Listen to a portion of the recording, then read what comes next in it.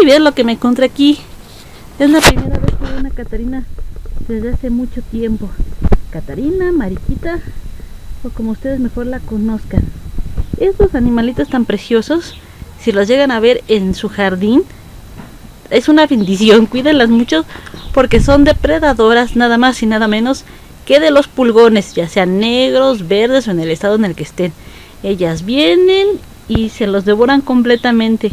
Una catarinita se echa bastantes pulgones y pues es una de las maneras más naturales y equilibradas que la naturaleza nos da para acabar con este tipo de plagas. Aquí la encontré la garrita de oso. No sé por qué, esta no tiene pulgones. Mm, me imagino que hay alguna planta por aquí que sí los tiene y pues si es así, ella se encargará de chutárselos. Pero ya saben, si encuentran este tipo de animalitos en el jardín, de este tipo de insectos, o no sé si es insecto o bichito, estas caterinitas tan preciosas, no las molesten, déjenlas, no les va a hacer nada a sus plantas y al contrario, les va a ayudar a librarse de los pulgones que haya en sus plantitas.